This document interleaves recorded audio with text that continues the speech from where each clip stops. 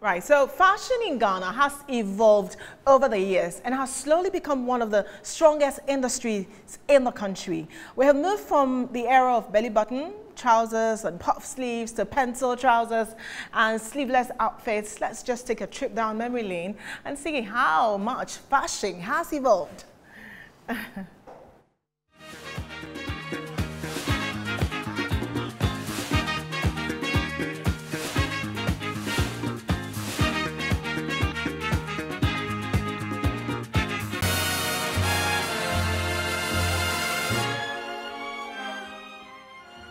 Fashion in Ghana dates back to the pre-colonial era, and just as the people have evolved, fashion has also changed.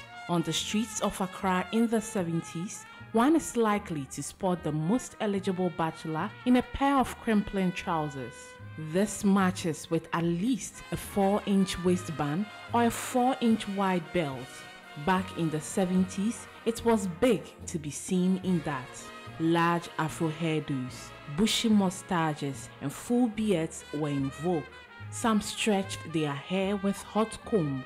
A stylish Ghanaian woman back then would be seen in either a Crimplene flower pattern dress, Crimplene mini skirt. Slowly, the mini skirts in the 60s became the midi skirt. In the 80s, maxi a full length gown with an elastic high waistline was necessary for every formal high society evening parties.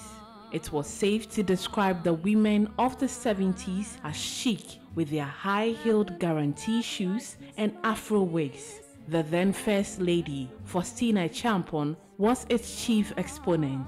Unlike today, middle aged women wore full length jeremies for informal evening parties. The side attraction was the hairstyle. Braiding the hair with strands of black thread, a fashion trend from the 60s, still persisted. Then came the jelly curl or wet look. This was a greasier, softer, curlier variation of the blown hair. Then came the decade of jeans.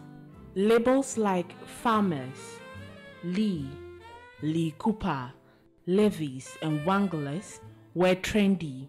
In the 90s, people dressed to express their personalities. Young boys were inspired by the fashion senses of American rappers, while R&B singers inspired the female and has continued to high-level fashion trends.